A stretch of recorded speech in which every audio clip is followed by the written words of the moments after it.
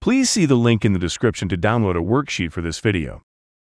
We suggest that viewers who are sensitive to the life sciences have an adult watch this video first, to ensure it is suitable for that viewer. If you have not already done so, we recommend that you watch the videos on plant adaptive traits and intro to animals before watching this video. Does this pattern look familiar? It seems similar to this owl's eyes. Many small birds that eat insects are themselves eaten by owls. So this insect may be saving its life by scaring small birds away. This is an example of an adaptive trait. Let's start by reviewing some terms. A species is the term we use for any unique type of organism, whether it's a plant, animal, or other type of organism. For example, in this image, there are three animal species, zebras, giraffes, and wildebeests. We use the term member to refer to an individual organism. In this image, there are about 10 members of the elephant species. Extinction means all the members of a species have died, so that species no longer exists. For example, dinosaurs like these went extinct about 65 million years ago. For a member of a species to survive, it must solve three challenges. 1. Get enough energy and nutrients. 2. Avoid being killed, such as by being eaten. 3. Avoid dying due to a harsh environment.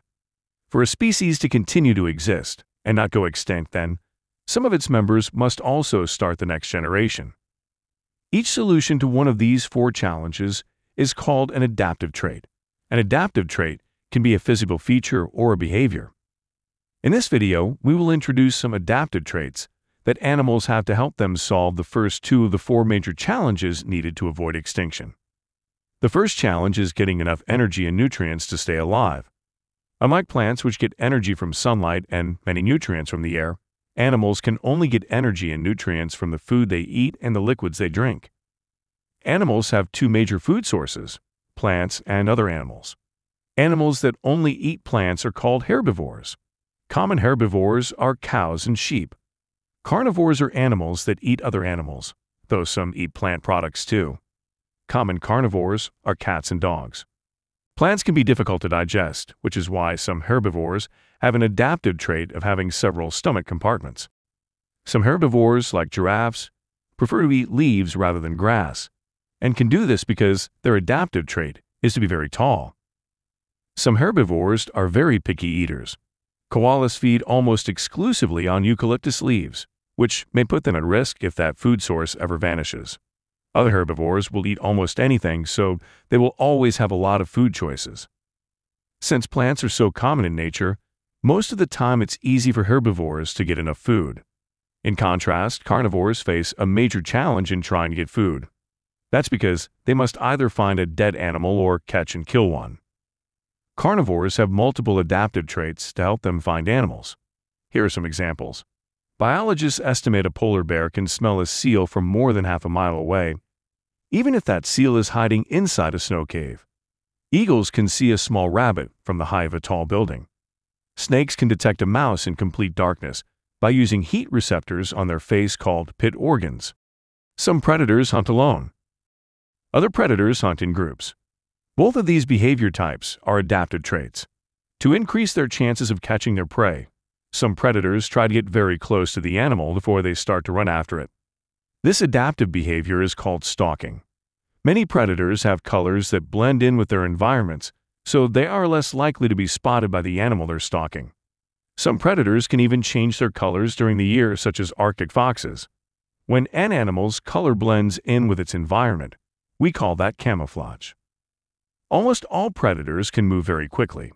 The fastest animal in the world is the peregrine falcon that can go over 180 miles per hour. Once the predator reaches the prey, it has to be able to hold on to it. Predators frequently have sharp claws and teeth for that purpose, which are the opposite of the hoofs and teeth that herbivores have. Next, let's look at the second challenge, which is how animals try to avoid being killed by other animals.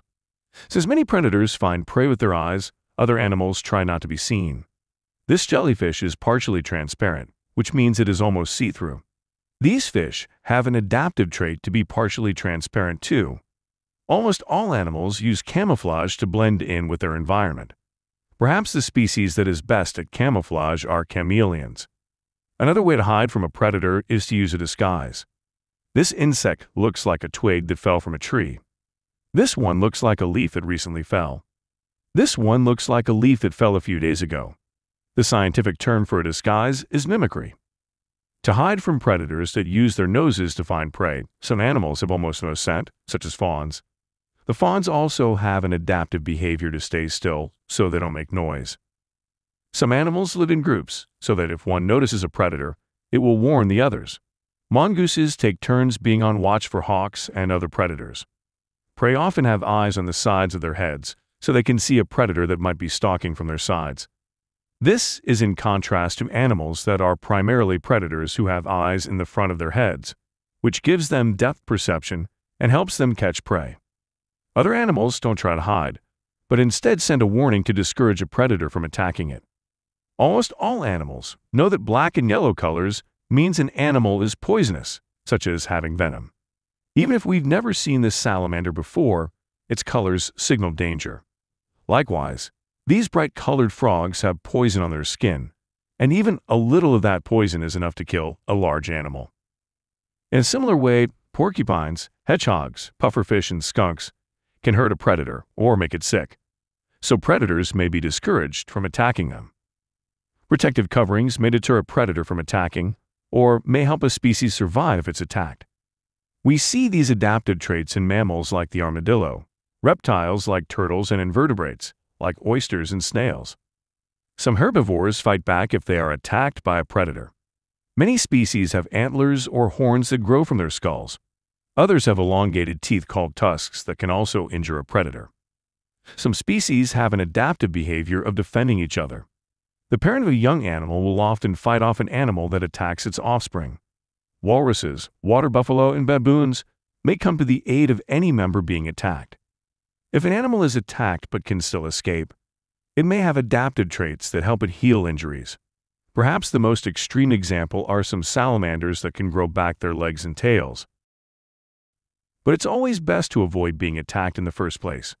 That's why some species like these mountain goats have an adaptive trait of being able to easily walk and run on narrow ledges because of their small and rigid hoofs.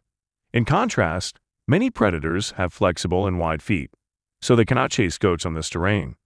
Here's a summary of this topic. Please pause this video if you wish to read this.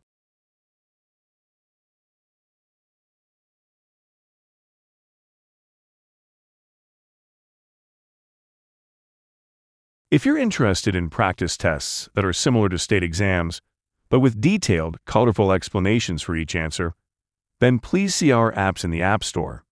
Many of these are free and none expire or limit their function. Since we only make educational products for children, none of our apps have third-party advertising, in-app purchasing, or connect to the internet. Please subscribe if you'd like to be notified of future educational videos we make. Thanks for your attention.